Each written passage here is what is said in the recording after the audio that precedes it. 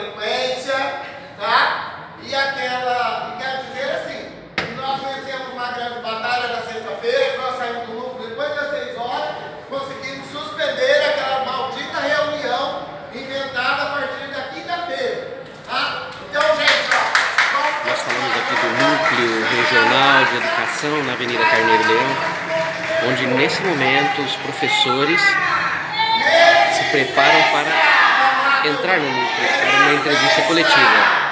É um protesto.